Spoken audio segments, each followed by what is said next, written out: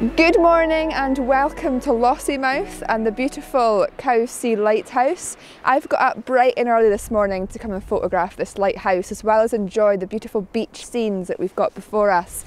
Now I was down here last night actually hosting a workshop and the conditions last night were stunning. We never got that gorgeous, gorgeous sunset but we had nice clear skies, nice hues and colours on the horizon and I wanted to get back up this morning and come here for sunrise to see if the conditions would be different. And we've still got nice clear skies, it's reasonably calm, um, we're not going to get any beautiful clouds lit up this morning but it's such a gorgeous morning to be out, it's so clear, so crisp and it's just stunning. And uh, before we get cracking on this morning's photo shoot, I thought I would quickly show you a few images that I shot during the, the workshop last night, just to give you an idea of how beautiful it was.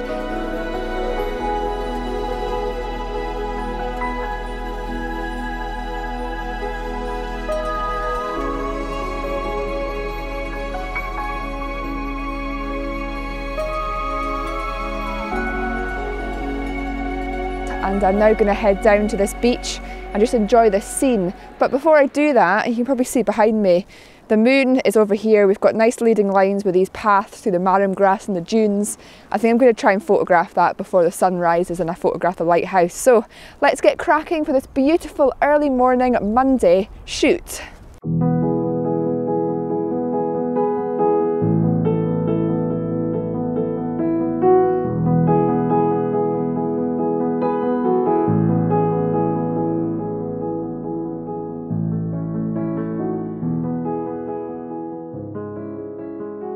I'm not 100% sure if this image is going to work, but when I arrived here, the first thing that struck me straight away was the moon. And the fact that it's framed up against the beautiful marram grass and the dunes, it's really, really striking this morning. Now it's in the opposite direction to the sunrise, but in many ways that makes it nice because sometimes when you photograph in the opposite direction, you've got beautiful hues and colours that sort of illuminate and caress the horizon. So what I'm trying to do here basically is I'm trying to frame the moon and all of its beauty with some of the leading lines that we've got going through the man-made paths and and lines that go through this, these dune systems. And um, try and lead the viewer's eye into the, the moon with this composition.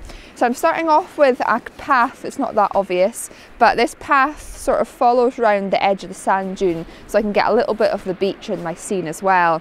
Like I said, I'm not 100% sure if this image is going to work, but I'm going to take it nevertheless. And I've positioned the moon in the centre of the frame, and through doing that, it's acting as a focal point with a man-made path going towards the, the moon and um, the focus of this image. So let's take the shot, see what I think of it, and uh, yeah, hopefully, hopefully this will work out.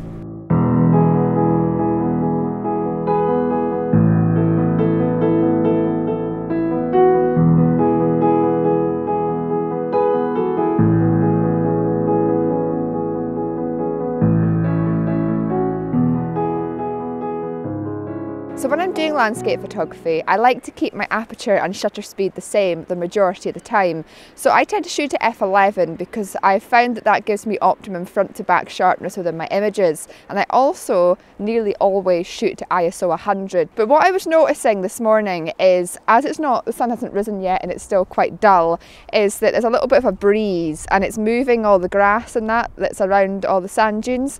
And because of that, I was getting a shutter speed of two seconds, which was obviously resulting in the grass being in motion.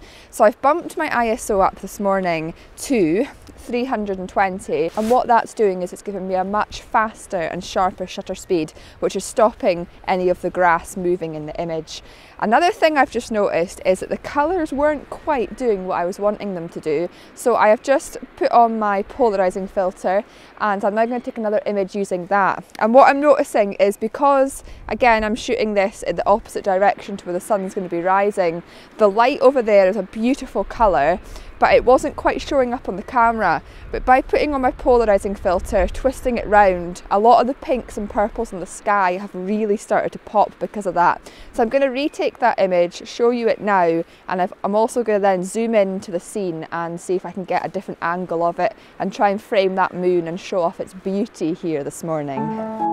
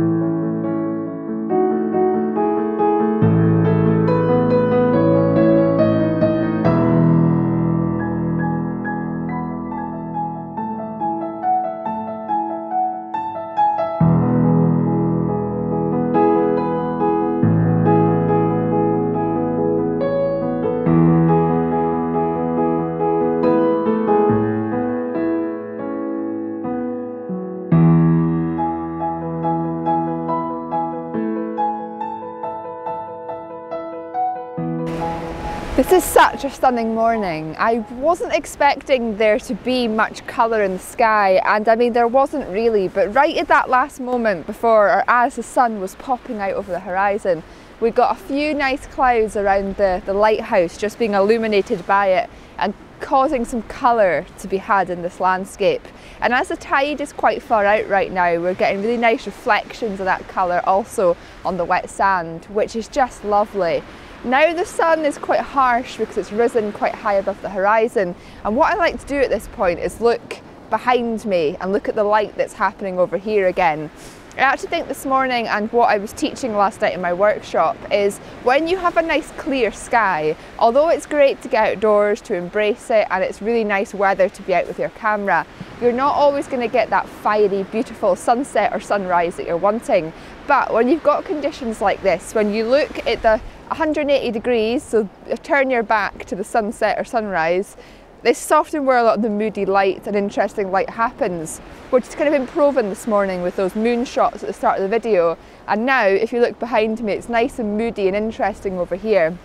I think what I'm going to do is I'm going to focus more on photographing this side of things and once the sun has got higher in the sky and it starts to cast over the sand dunes and we get that nice orange glow I'm then going to head back up there and try and get some images there with that nice light on the sands. But this morning is just stunning and this is one of the reasons why I love the Moray Coast so much. It's a fantastic place to shoot the sunrise and the sunset and it's just, words fail me, this is beautiful, so beautiful. And I've pretty much had this beach to myself this morning, just with a few people out for an early morning walk. But on the whole, there's only been a few people here and it's just, just look at this vast expanse. Absolutely stunning.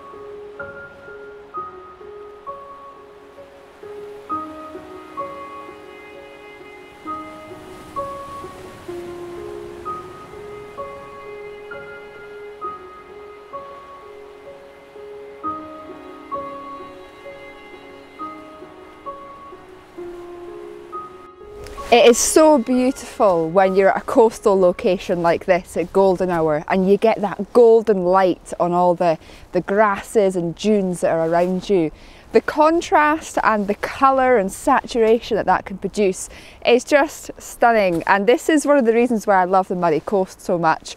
There's so many beaches here, so many beautiful coastal locations, so many dune systems and when you're up early in the morning or out in the evening and the light is like this, it's just to me I can't explain what being out in conditions like this does to me. It's I found it so uplifting, so rewarding, so beautiful and almost mesmerising in many ways. And what I've done is out on the horizon over here, we've got a house, we've also got an old Coast Guard lookout tower and I'm framing them in the top right hand side of my image with some of these marram grass and dunes that are lit up by that golden light just sort of allowing the viewer's eye to go into it. I've taken a few landscape shots of that and I've also included some of this old fence on the left hand side to add some interest and depth. But I'm now going to do some portrait orientation shots on the path itself just to get something that little bit different. Then I'll compare them, see which one I like the most, but I'll show you both of them because I think they're both different and unique in their own ways and sort of portray this beautiful light and scene in a slightly different way but it's just stunning. What a beautiful morning. And oh, I love spring so much. I can feel the air getting warmer. Just being out at six o'clock in the morning in this beautiful surroundings. There's nowhere else I'd rather be.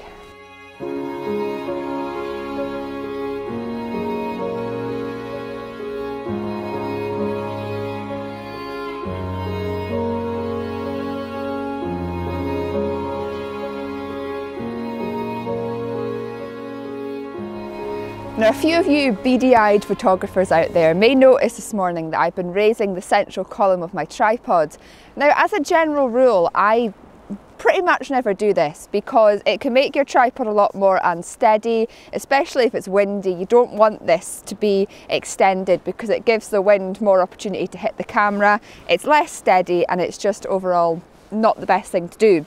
But on mornings like this morning where it's reasonably still, it's not such a big issue. But what I'm finding this morning is that I'm trying to single out, especially with this image here, I'm trying to single out some of the old fence posts and try and have a definitive leading line into the scene.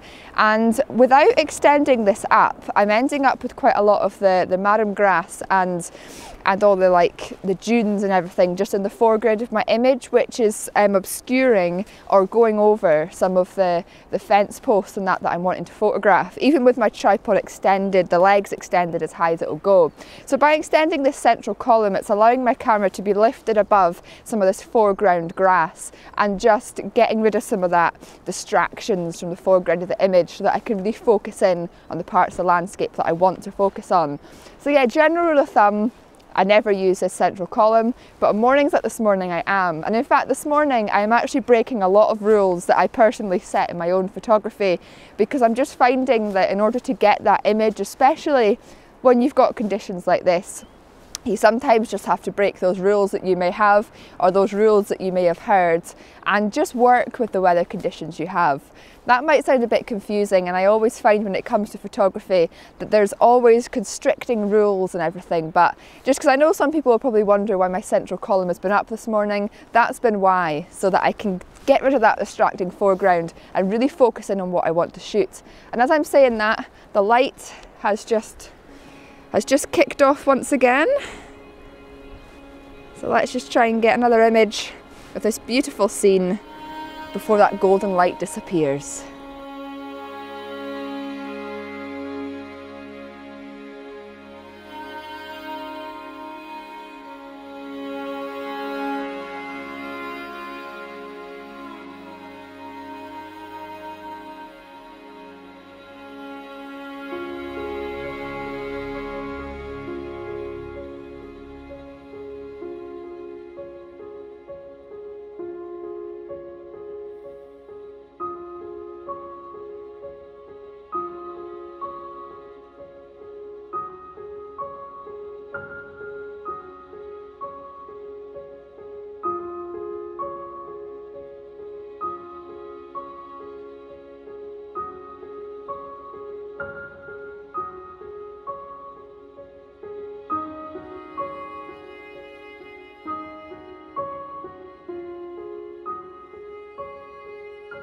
Well, I think it's safe to say that on the whole, this morning has been incredibly successful. I might not have got that stunning sunrise that a lot of people would probably go out and try to shoot. You know, there was not that illuminated colours and beautiful clouds and reflections.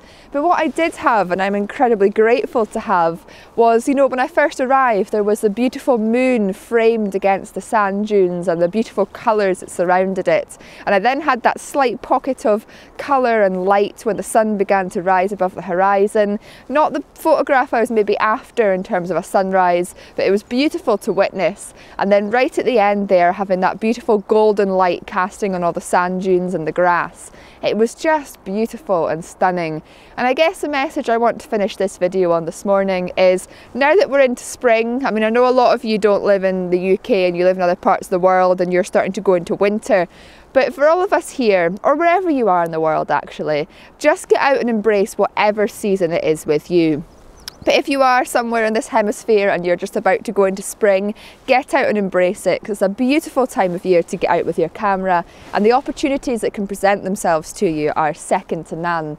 As always, I want to say a huge thank you for watching. There's been quite a lot of hints and tips in this video, so I hope a lot of you have learnt stuff from that. And I really hope that I'll see you all again next time. I've actually no idea where I'm going to be next time. It's all an exciting adventure at the moment with this new Z6 camera that I'm using, but I'm loving it. And I'm loving getting outdoors again and embracing this season. And what a stunning morning to do that.